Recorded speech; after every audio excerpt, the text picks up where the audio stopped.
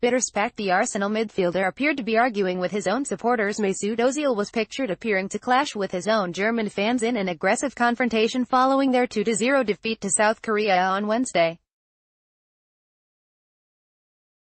This result, combined with Sweden's 3-0 win against Mexico, left Joachim Löw's side bottom of their group and knocked out at the World Cup's opening stage. Ozil looked to the heavens, but found no answers during Germany's defeat. Ozil was ineffective throughout the match and seemed to bear the brunt of fan frustrations at the final whistle. He was pictured below, in an apparent argument with supporters as he walked off the pitch.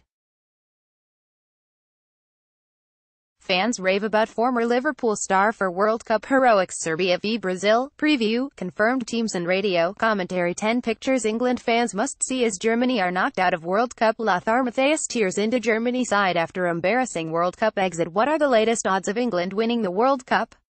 Switzerland v. Costa Rica, preview, team news and radio, commentary The incredible stats behind Germany's World Cup exit. England fans believe the World Cup is actually coming home after Germany exits. Southgate confirms midfielder to make first World Cup start against Belgium, Mexico and Sweden into last 16 of World Cup as Germany sensationally bow out. Germany dumped out of World Cup after shock defeat to South Korea. Fans outside the stadium also told TalkSport that they were less than impressed with the Arsenal man's performance. TalkSporter with listeners all day and all night at this year's 2018 FIFA World Cup with over 800 hours of World Cup content and all 64 games live across the TalkSport network.